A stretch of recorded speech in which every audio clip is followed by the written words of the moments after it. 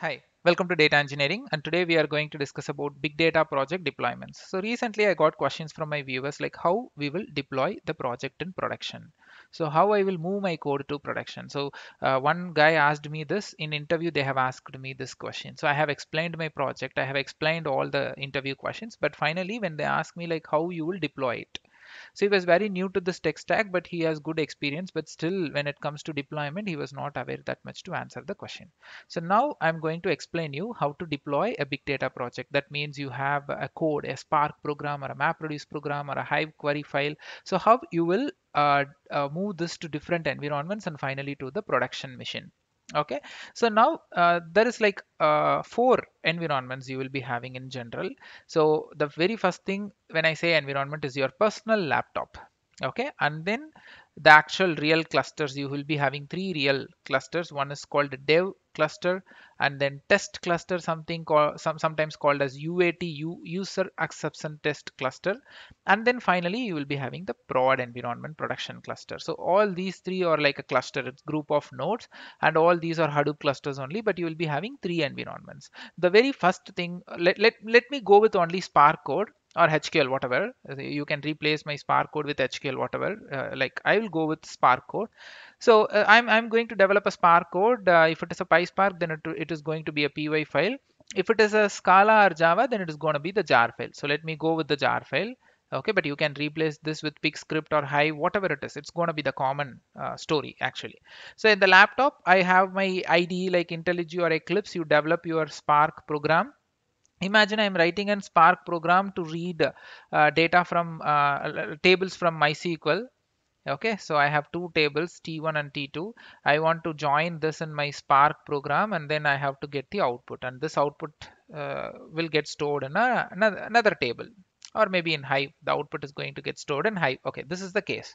So in my local environment uh, in my laptop what i'm doing is i have mysql in my machine. So i have just created a table and then i did a join and then finally I, am doing a show because in my local machine I don't have Hive but it's possible you can install but but that's fine. Anyway you can you can test that in dev environment so you can skip that in your laptop. So in laptop I'm just giving show and I'm, I'm just checking my output.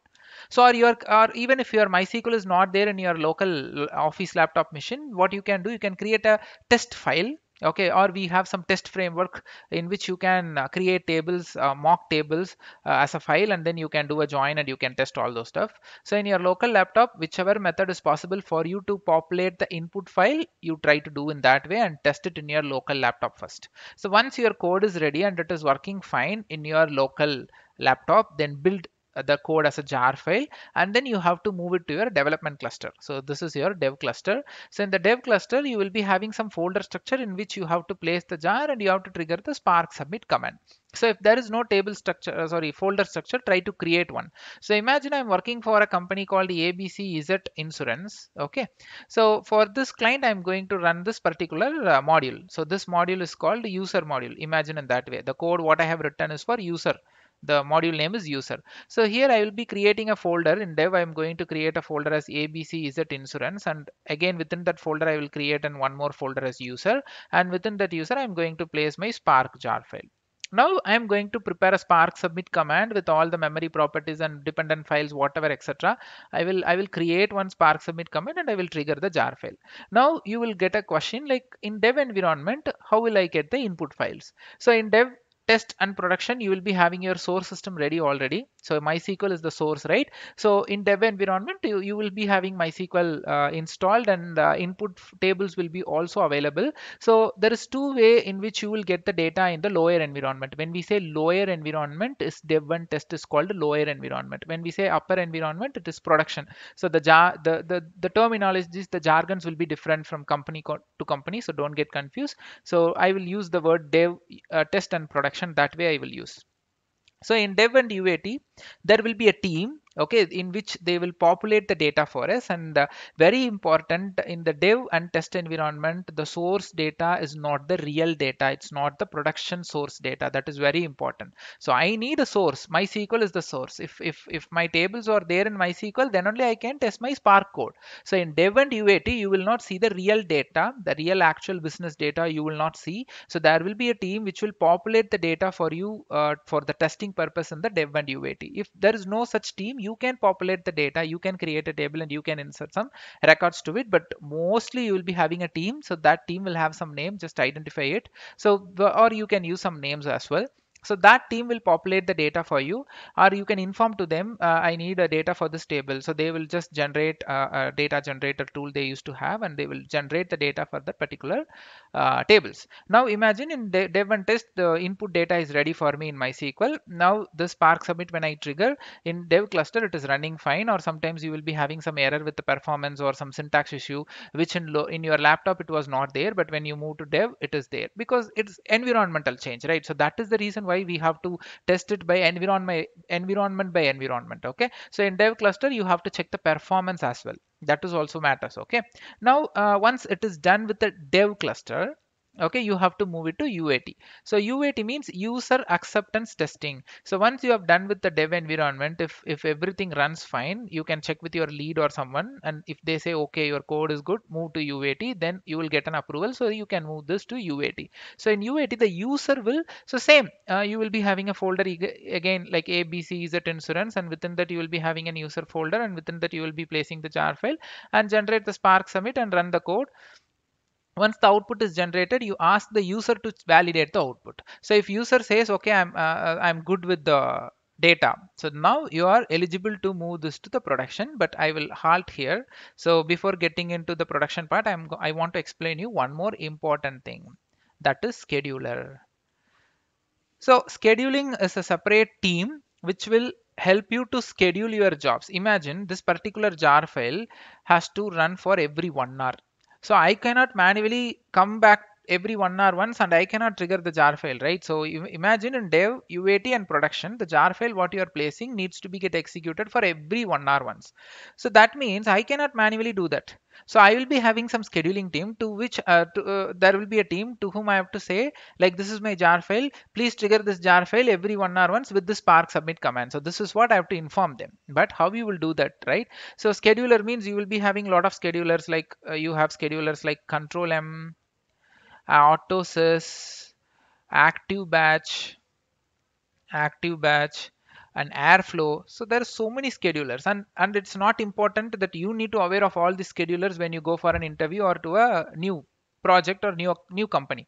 So the schedulers is always like kind of uh, uh, not mandatory skill set for the data engineers to uh, uh, to learn these things. It's not required but if you learn it that's fine. But for for schedulers there will be a separate team for 100% sure in any companies you go so this scheduler team, for example, if you pick Autosys, the Autosys will ask you for few details.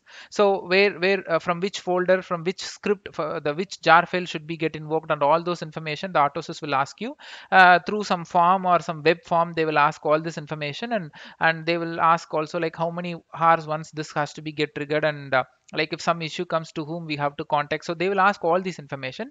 You fill the, all this information and give it back to the scheduling team and they will start the scheduler. So very important thing is in in in, in your projects right in dev or uat or production uh, you should not manually prepare the spark submit you have to write one script okay? So imagine i'm going to write a start uh, code start code.py or it could be a shell script. Anything is fine. So this shell script is what? This python or shell script is what uh, will generate the spark submit and that is how you have to prepare one script okay so this script will uh, prepare the spark submit. Imagine you have 100 jars spark jars and you cannot manually uh, uh, generate a spark submit for all these 100 jars or if if a new jar adds in future you can't do it right? So you have to write one shell script or a python script which will take care of generating the spark submit or if it is a hql file it it has to take care of generating that hive-f command to run your hql file. Okay so just write just create one base script and this script is what you have to hand over to the scheduler team. So to the scheduler team, tell them please trigger the script for every one hour once. That's it.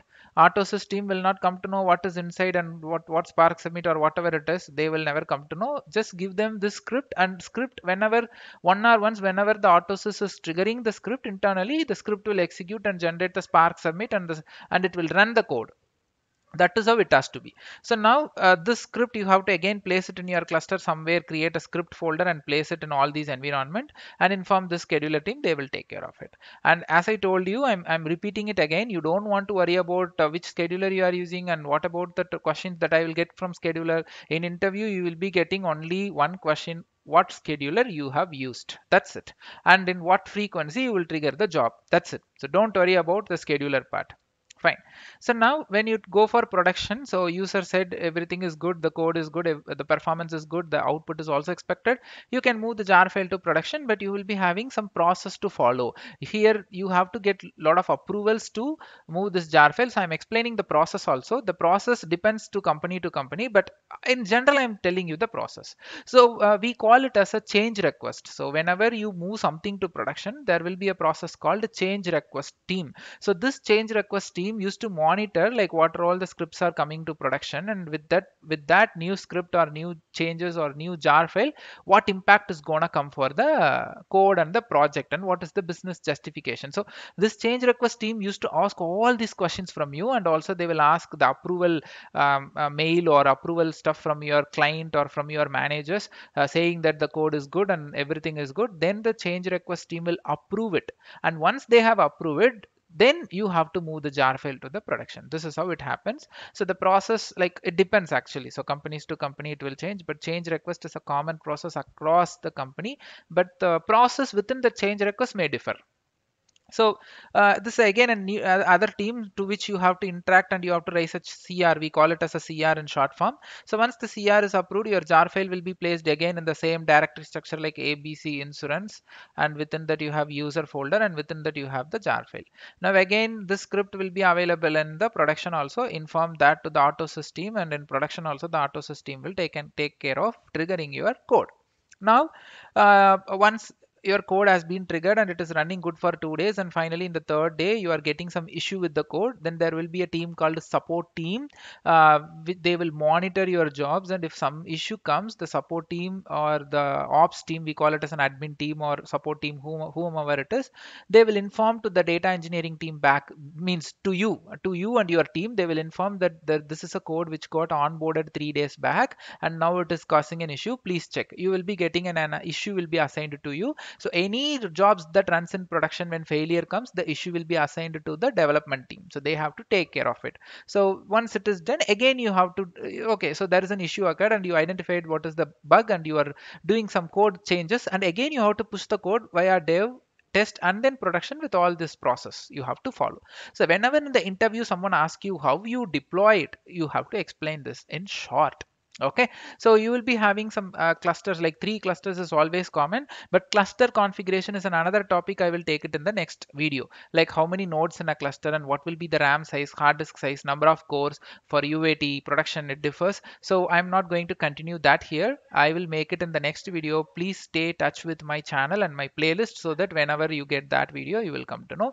As i already told you some important videos which i have mentioned in the description box which is required for you to uh, watch uh, before watching this video or after watching this vi this video but that will be very helpful. It's all about the job interview perspective. Okay? So thanks for watching and if you really like this video please do subscribe my channel forward this to your friends and colleague and please do share my video in your linkedin profile. Thanks for watching